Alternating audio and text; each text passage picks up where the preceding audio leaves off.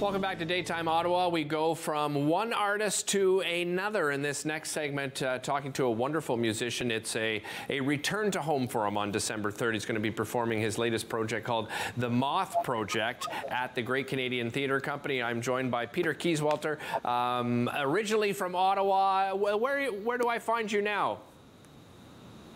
Uh, Columbus, Texas. Columbus, Texas. Well, uh, I believe your your wife is from Texas. Uh, am I correct in that?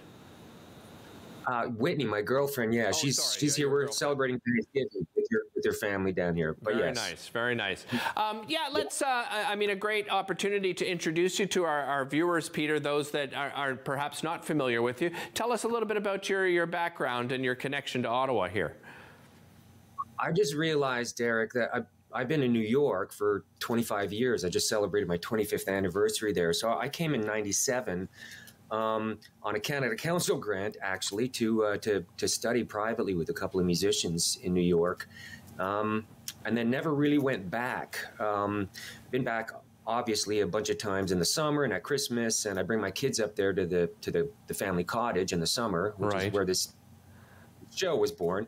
Um, but yeah, I've been kind of down here applying my uh, my trade for 25 years. Nice. And but you studied here in Ottawa, right?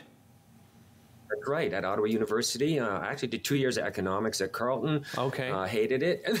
I studied music at Ottawa University.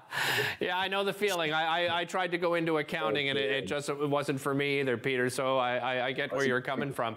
Um, but you've had a, an amazing journey, you know, since you moved to New York. Uh, tell us about that journey, you know, starting in 1997, what, what it's been like for you there.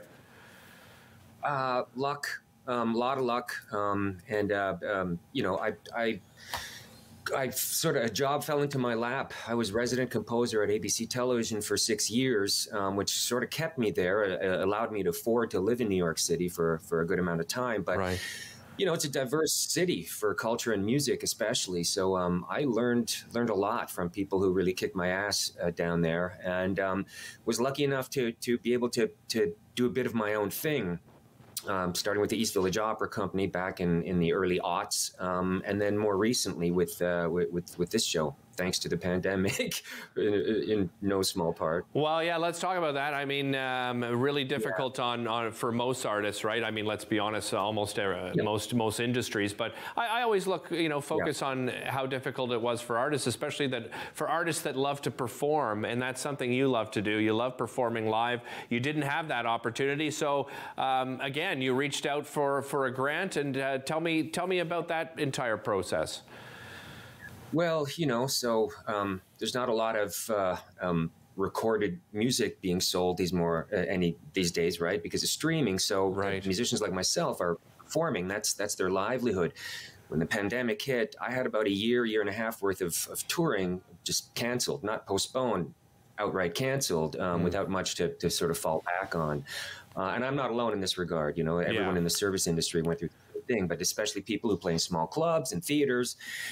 So, thank goodness for, for Canada and the Canada Council. I applied for a grant to do something a little different, um, to try something that, uh, well, um, had a message of, of the importance of diversity and bio and cultural diversity, especially, but also to bring it to places in non traditional performing um, environments like outdoor amphitheaters and state and provincial parks and libraries, galleries, outdoor spaces, um, indoor spaces. And uh, so that allowed me to, to focus on this for a couple of months. Um, and now uh, Whitney and I are getting ready to roll this out next year, but we're doing a few shows, a few preview shows up in Canada and one in Cleveland next week just to see what this looks and sounds like. Um, you know? Yeah.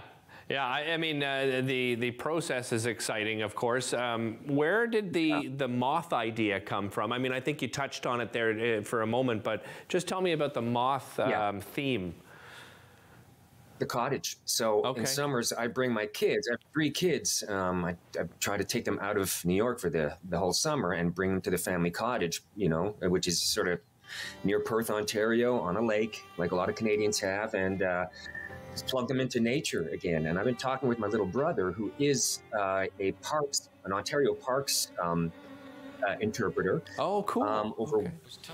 what are we supposed to do? Um, you know, his job is also facing a bit of a crisis, and how do we get this message of we need to pay attention to the earth? What the earth tell us for quite a few decades now, which is uh, uh, we gotta we gotta pay attention. We need to to develop a sense of awe and wonder and connection to the natural world again, or else, um, you know, we're not going to be around for much much longer. Yeah. Um, so in, in, doing so, we're sitting around the campfire at night, and Toby, my brother, uh, has been taking pictures of moths as a hobby, and uh, I was astounded to see that just from the cottage alone, over the course of a summer, there's over 300 species, different species of moths that he's documented. Wow! Um, and I saw that as a as a as a good metaphor for where I am in New York, a very rich, culturally diverse place.